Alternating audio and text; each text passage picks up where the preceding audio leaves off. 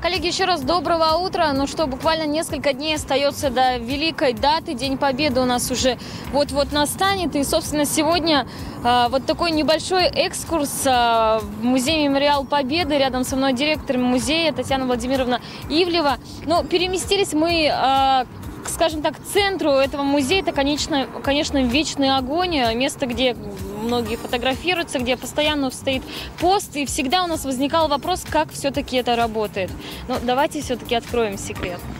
Это газовая резервуарная установка. А, установлена она здесь была в 1975 году. Работает она на основе а, сжиженного газа. В течение работает постоянно, без э, перерывов. Бывают технические а, вопросы, но это любая техника, ее тут же приводят в строй. Техническое обслуживание регулярно проводится. Ну и таким образом мы все видим постоянно работающий вечный огонь. Вот пост тоже стоит круглосуточно? Пост возле вечного огня стоит с 10 до 2. Он стоит ежедневно, кроме воскресенья. Восстановлен он был 23 февраля 2015 года на постоянной основе.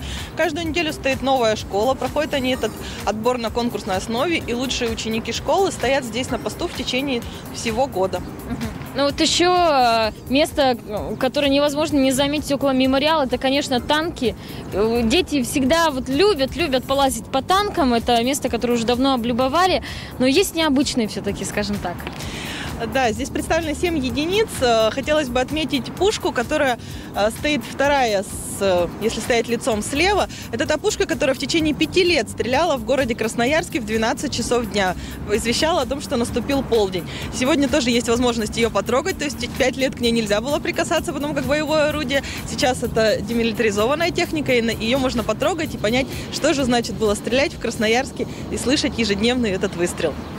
Ну, я хочу сказать, что э, в преддверии 9 мая, собственно, 9 мая здесь, э, в Мемориале Победы, режим никак не меняется, вас готовы принять э, и 7, и 8, и 9. Но вот сегодня, вот пока Шахтеров у нас еще на ходу, и сегодня в 9 часов утра, буквально через несколько минут, здесь э, пройдет возложение э, венков.